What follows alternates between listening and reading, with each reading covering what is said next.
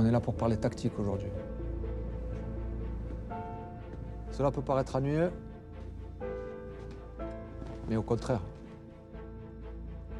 La tactique, ce n'est pas seulement des datas et des réunions sans fin. Il faut voir le football sous un autre angle.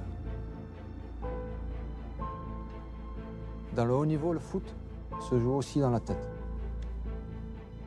L'intelligence de jeu est aussi importante que la technique.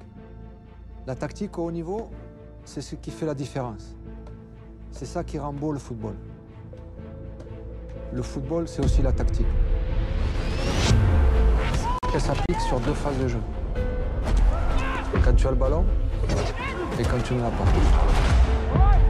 C'est simple, individuellement et collectivement.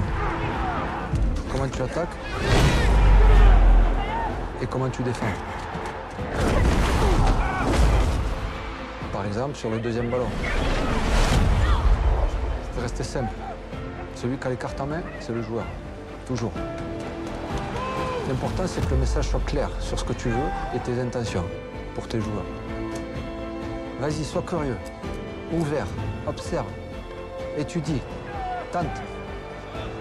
Il y a mille possibilités, mille formules. Il ne faut pas être conventionnel.